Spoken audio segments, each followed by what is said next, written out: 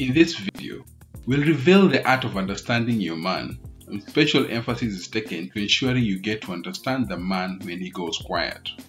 Remember to watch to the end as I'll give you the secret to what you need to do when your man goes quiet. Welcome to a channel that is always new and provides fresh, authentic wisdom that is educative, informative, entertaining, and critical. My name is Dr. Stephen Biko. I am a unique and endearing young man. In this channel, I post authentic relationship advice and apologetic stories of adulthood, traveling, and crazy bambo dates. If you're new or haven't joined the community, hit the subscribe button and let's win together. Women have a lot to learn about men before their relationship can be really fulfilling. They need to learn that when a man is upset or stressed, he will automatically stop talking and go quiet to work things out. As a woman, you need to learn that a man requires this space and not even his best friend is allowed to invade it. So a woman should not be so scared that you have done something terribly wrong. You need to learn if you just let your man go through this phase. After a while, he will start talking and all will be well. This lesson is difficult for a woman because in a woman's world, one of the golden rules was never to abandon a friend when she was upset. It just doesn't seem loving, loving to abandon your man when he is upset. Because she cares for him, a woman wants to come to a man's space or mind offer him help. In addition, she often mistakenly assumes that if she could ask him lots of questions about how he is feeling and being a good listener, then he will feel better. This only accepts men more. A woman instinctively wants to support him the way she will want to be supported.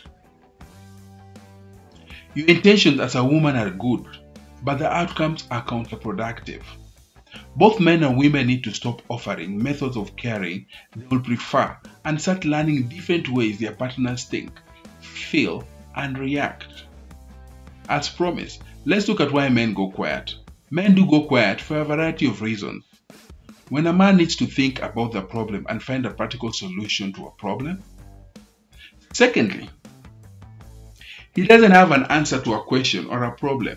Men were never taught to say, Gee, I don't have an answer. I need to think and find one. Other men assume he's doing just that and he becomes quiet.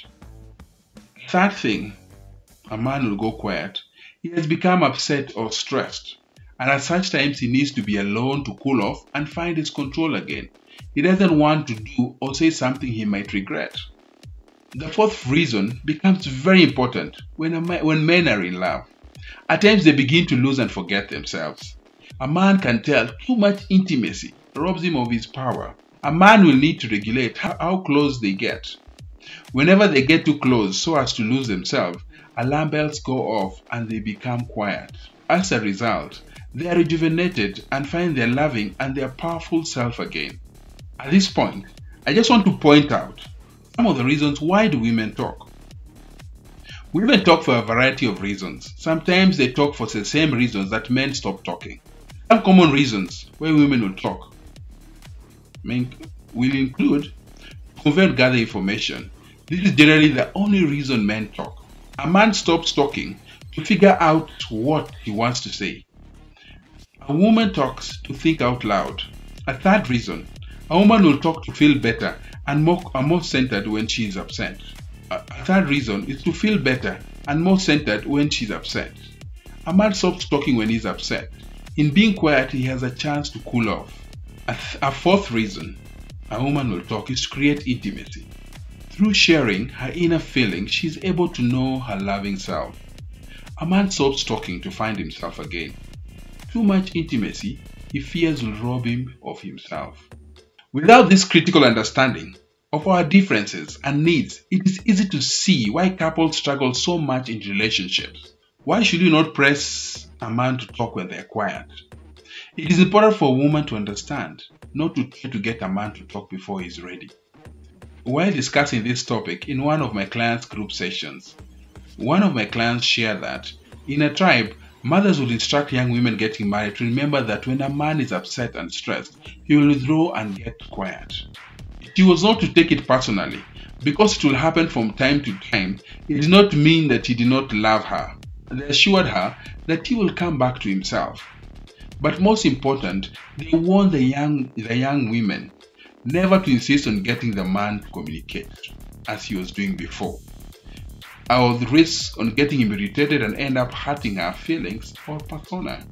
Much unnecessary conflict has resulted from a woman going against this wisdom. Women just haven't understood that men really do need to be alone or silent when they are upset. When a man goes quiet, a woman just doesn't understand what is happening. She naturally tries to get him to talk.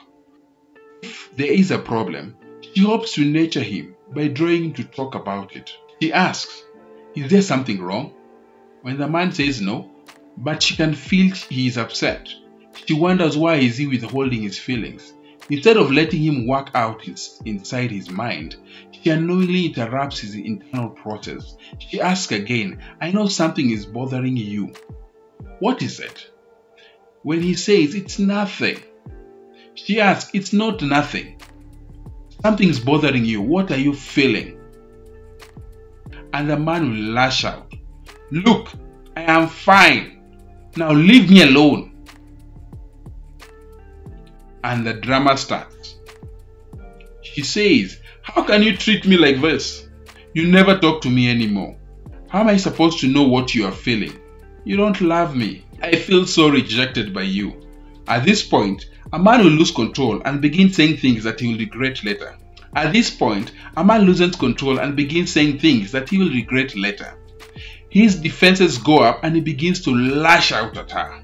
Question of the day Share some scenarios where partners misunderstand each other and cause friction in, a, in your relationship.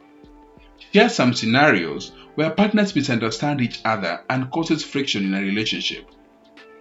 Give your comments in the comment sections and I'd like to connect with you and others from our community will do so in our comment section. We've covered in this video understanding and interpreting a man and what to do in a relationship. On our next video, we will cover the common warning signals to watch out when men do talk. If you haven't subscribed, definitely subscribe for more videos like this. Don't miss out on being part of a community of winners. And if you have any ideas on future information or videos you'd like to see, kindly let me know in the comment section. Until next time, go out there and keep winning. See you on our next video.